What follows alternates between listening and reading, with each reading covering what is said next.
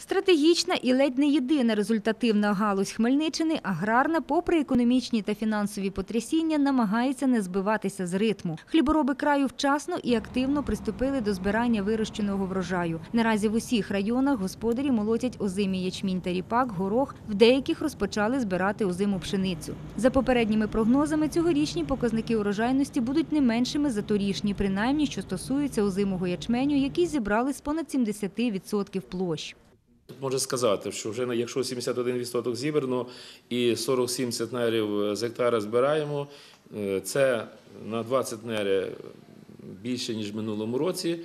Ну і це дає вже відповідно можливість сказати, що десь на цьому рівні і врожайність збережеться. Я не думаю, що оцих кілька днів дощових вони суттєво вплинуть на кількість і якість озимого ячменю, ну і в тому числі інших зернових культур.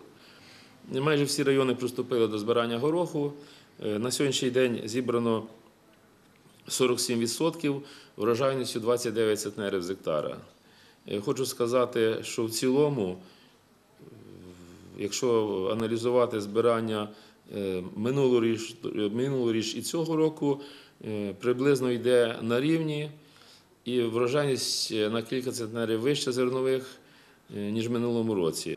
Насамперед господарі намагаються продати озимий ріпак, аби отримати гроші на решту польових робіт. Цього року сільгоспвиробники області шукають гроші де тільки можуть. Державна зернова корпорація обіцяє платити 3200 гривень за тонну продовольчого зерна, за фуражну пшеницю і ячмінь 3050 гривень. Водночас, за оцінками спеціалістів, витрати на проведення польових робіт зросли щонайменше в 1,7 раза. Намагаючись зекономити, аграрії краю відмовляються від затратного просушування. Багато господарів не поспішають забирати урожай з поля, аби зерно дійшло до кондиції, тим самим ризикуючи втратити більше у разі негоди. Фахівці кажуть, за кілька днів має розпочатися декада сонячної погоди. Принаймні, це обіцяє довгостроковий метеопрогноз. У сільському господарстві, відповідно, стартує найгарячіша пора, адже в цей строк потрібно буде зібрати і ячмінь, і ріпак, і пшеницю. Якщо технікою агроформування забезпечені гарантовано, то можливості хлібоприймальних підприємств викликають сумніви. На думку фахівців, тут цілком можливі затримки з переробкою зерна. Анна Михайловська, Олександр Горішевський для інформаційного випуску.